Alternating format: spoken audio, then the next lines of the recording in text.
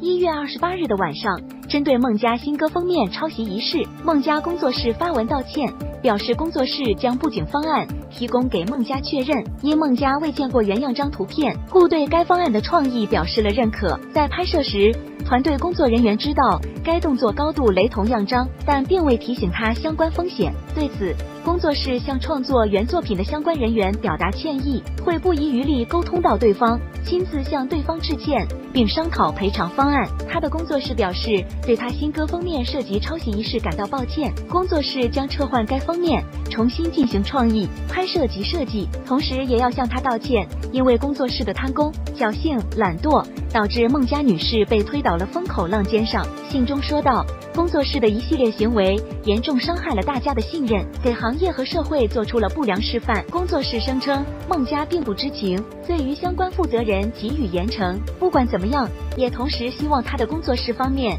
能够加大审核力度，记住这次教训。